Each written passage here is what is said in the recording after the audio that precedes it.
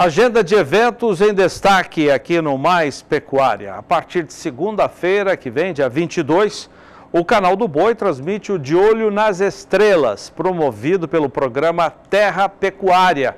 Terra Pecuária você assiste sempre depois do, do, do nosso Mais Pecuária. Realização da Connect Leilões. Três leilões de genética das raças Nelore, Nelore Pintado e Cindy. E aqui comigo, o diretor do programa Terra Pecuária, que está organizando essa semana importante a partir de segunda-feira. Flávio Venâncio, muito obrigado pela sua presença, tudo bem? Tudo bem. Ô Flávio, hoje eu reparei no seu WhatsApp que tem sempre uma foto, né, da gente, do telefone e tal. E eu vi uma foto sua, você jovem, né? Uhum. Você é jovem, mas era mais jovem sim, ainda. Sim. Na Índia, Sim. O que, que você foi fazer na Índia? E com a câmera na mão, né? É. Você já era cinegrafista na época? Já, já. Quando foi aquilo? Foi, eu tive na Índia duas vezes, né? Uhum. Em 2003, na primeira vez, e voltei para ir em 2006. Tive lá fazendo um trabalho para o Jonas Barcelo. É, a gente foi fazer as filmagens das doadoras. Quando um projeto de Nelore Piauí estava no início, o Jonas foi o que encabeçou esse projeto depois entrou os demais, o Jop, mas iniciou com o Jonas. E eu tive o prazer de estar lá filmando essas doadoras, né? E depois eu retornei em 2006 para fazer o Jonas novamente e a gente foi fazer o Jop também, que é a outra turma que também está presente hoje no POI, né? Que importou, né? É, porque era proibido, ainda é proibido trazer animais vivos sim, de raças zebuínas. Sim, sim. Mas uh, os pecuaristas brasileiros, com a BCZ, Ministério da Agricultura, conseguiram reabrir o mercado da Índia, isso 2004, 2005, exatamente nessa época que você foi pela primeira vez mas a, as importações foram retomadas somente na forma de material genético, de embriões. E o Jonas Barcelos, titular da Agro Mata Velha, foi um dos que é, foi pioneiro até, né, para identificar os animais. Mas muito bem, nós estamos aqui para falar do De Olho nas Estrelas, que começa segunda-feira que vem. Como é que você reuniu, o, o Flávio Venâncio, um time tão seleto de criadores e selecionadores de raças zebuínas, num só evento, né? Sim. É, o legal de tudo isso foi que foi uma ideia de reunir, fazer um evento. Eu tive essa conversa com, com o Cláudio, dessa, dessa ideia minha, e ele me, me deu todo o aval, falou para mim fazer.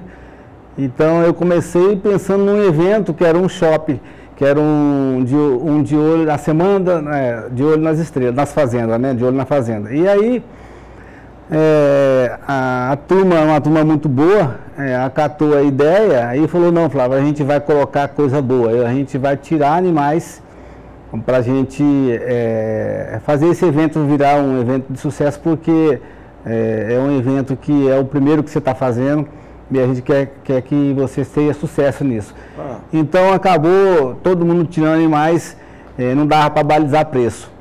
Então são animais aí de cabeceira, Dentro deles tem várias doadoras, é, vários touros de repasse.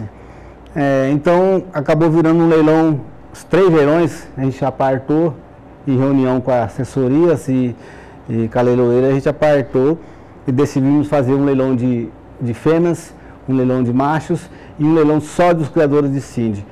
Muito bom. Uhum. Ô, Flavinho, você separou imagens para a gente mostrar? Vamos, vamos mostrar então? Sim. É, no leilão de, do dia 22, será um leilão de, de fêmeas, né? Então são, são de vários criatórios aí de patrocinadores, genética aditiva. Você pode ver aí animais aí doadoras, tá com praticamente com bezerro no pé, que é um, um futuro touro de central para mim. É, são animais é, que eles apartaram lá que caberiam em qualquer leilão hoje é, do Brasil, entendeu? São, a genética aditiva está entrando com, com três lotes de fêmeas e um touro de repasse. Esse touro que eles colocaram aí vai ser um, vou mostrar daqui a pouco as imagens, estava em central e eles abriram mão para brilhantar esse evento. Então, é, a genética ativa está vendo aí um bezerro aí muito bonito, né? É, uma doadora. Eles tiraram esse, esse lote aí. É, Mas é um lote duplo que será vendido? Sim, é um lote, é um lote vai o bezerro, vai a vaca e ela está prenha também. Então né? são três. Três. Que bom. O, o, bom, é, fêmeas, dia 22 de março, esse aí é um lote da genética é aditiva. isso. E... É uma doadora deles também, do plantel deles também, para você ver o nível do leilão, né? Vai ter várias doadoras, né? É, e, e bezerras também com, com, com, com números, com a régua muito boas, né? Então é mais ou menos isso. Legal. Vamos passar para os machos agora, que está, estarão Sim. em oferta no dia 23, que é terça-feira, né? Isso. Esse é um touro de repasse, tá? É, estava em central, estão repassando vacas, é, é, um destaque também do leilão, esse é o lote número 1, um, né? Dentre eles também vai ter outros touros também, dos patrocinadores, é, todos estão colocando o que é de melhor, entendeu?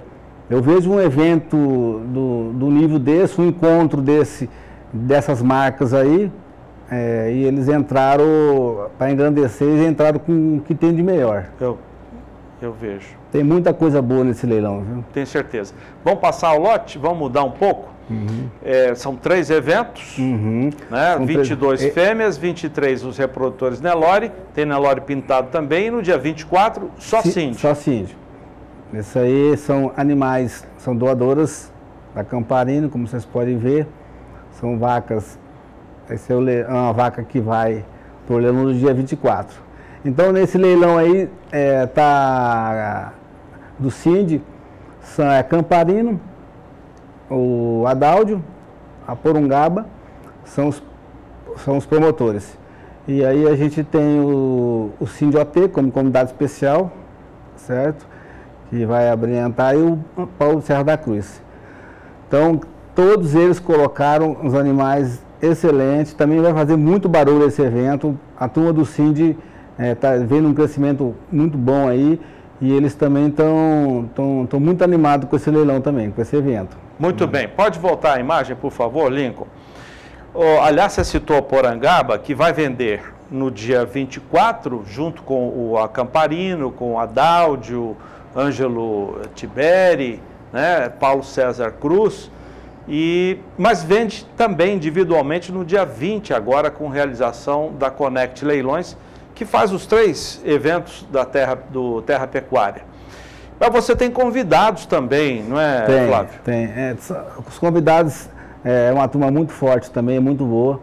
É, a gente é, fez o convite e eles é, entenderam o projeto, entenderam também a ideia do, do evento, também tiraram animais de cabeceira. É, eu tive agora no, no, no, no, no Nelore Golias, é, visitando o Fabinho lá, inclusive ele vai vender essa, é, essa vaca aí, está à venda, vai vender, e é um projeto muito bonito lá que ele faz, né? Ele trabalha lá com, com, com, com a maciez, a produção de maciez da carne, né? E do marmoreio, né? Isso. Sem tirar a raça do, do, do, do, do Nelore, né? Que ele tirou isso do, do, do Golias, do, do matriarca, que é o Golias, e ele começou a trabalhar com a parte científica da carne, buscando a maciez é, e, e, e o, o, a, a, o marmoreio, né? Que isso é importante. Inclusive até eu trouxe aqui um, um, presente que ele me deu lá. Opa, vamos ver aqui. É uma, é uma picanha. Você precisa ver, eu tive lá comendo, almoçando com ele lá, almoçando Me presta, eu vou mostrar para a câmera, você pode falar do, do, do Fábio e da Lilica Isso, eles, Almeida. Isso, o, o, o, o Nelório do Golias nasceu em 2003 com, com o Fabinho e a Lilica, né? Eles iniciaram o resgate da linhagem do genearca Golias utilizando a tecnologia aliada à ciência, né?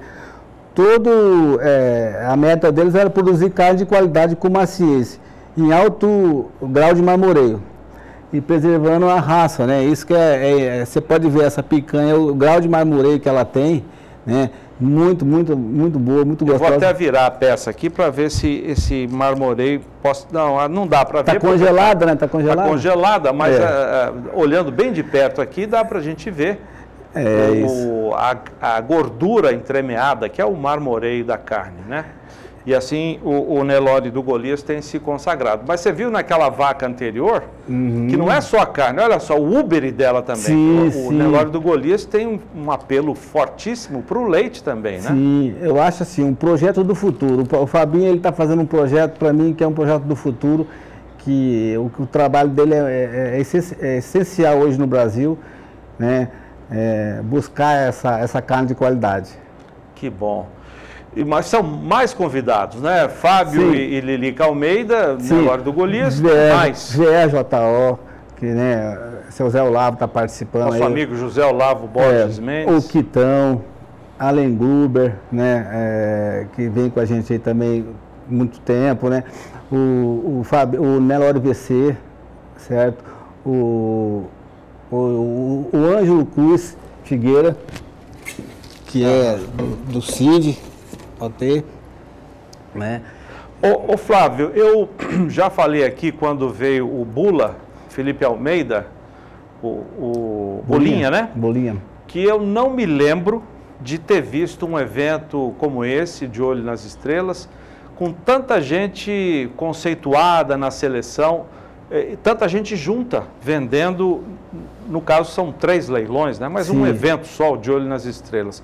Você já viu alguma coisa parecida assim? Então, na na- na- desde que eu estou na Becoara, é uma turma tão é, unida, importante no grupo das marcas, nos projetos fortes da pecuária, é, unidas juntas assim, abraçando a causa, abraçando a, a ideia, que é juntar os melhores animais juntos, colocar a sua genética, mostrar para o Brasil o que eles estão produzindo. É, eu, eu acredito que não, não, não tem ainda feito um evento como esse. Né? É, e eles já estão falando do ano que vem. Já estão falando, Com Flávio, certeza vai ser um evento do calendário nacional Sim, isso. sim, já todos os dias eu, eu- eu converso com um, com o outro. Ontem o seu Zé Humberto me ligou lá da fazenda, Camparino. Camparino, me ligou ontem pelo zap, eu falei com ele, ele falou, ó, e o leilão tá um barulho grande, hein? Ele vai vender Nelore e Cindy. Cindy, uhum, tá vendendo é, um mocho, coisa, um touro de central, um mocho. Ele tirou os animais do seu Zé, ele tirou dois touros do Camparino na Biraí. Ele tirou o cabeceiro, ele foi lá no curral, eu tive com ele no piquete, ele falou, Flávio, vou tirar aqui desse, desse grupo aqui, que são a minha reserva pro leilão mesmo. Então, então tá assim, a turma tá muito animada. O Pedrinho da Guadalupe, o Eduardo Campos Pinheiro também tirou, é, o, a Jacami, enfim, Eduardo Coelho, é, todo o Adaldio, eu acho assim, todo mundo co- comprou a ideia de fazer um evento para marcar a pecuária no Brasil hoje. Eu acho, acredito que para a gente um evento como esse, muitos estão falando que caberia esse leilão na Exposebu, em, em qualquer exposição hoje do Brasil, esse leilão caberia pela qualidade dos animais e pela qualidade dos promotores. Flávio Venâncio, muito obrigado, viu? Prazer te receber aqui. Obrigado.